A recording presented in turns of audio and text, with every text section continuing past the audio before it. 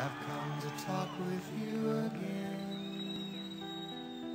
Because a vision softly creeping left its seeds while I was sleeping, and the vision that was planted in my brain still remains within the sound silence. In restless dreams I walked alone.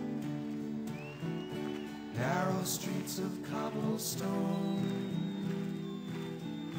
Neath the halo of a street lamp I turned my collar to the cold and damp.